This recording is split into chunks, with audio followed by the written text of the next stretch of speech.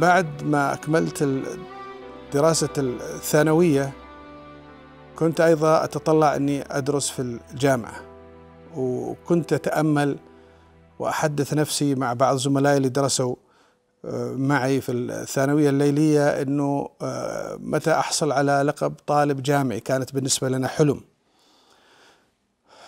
آه، أسرتي ممثلة في أخوي الكبير علي. كان حريص على أني أيضا أكمل دراستي الجامعية. إلى حد أنه قال تستطيع تجي كلية الشريعة في أبها وتفصل من العسكرية وأنا أتحمل مصاريفك. أنا في هذاك الوقت تزوجت. لما أخذت الثانوية العامة كنت آه، متزوج.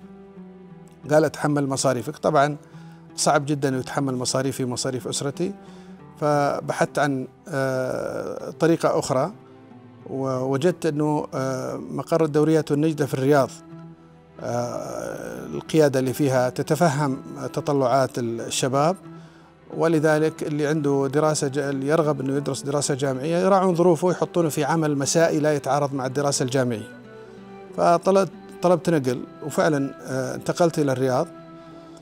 والتحقت بكلية الشريعة في الرياض لما كانت في وسط مدينة الرياض في شارع الملك فيصل.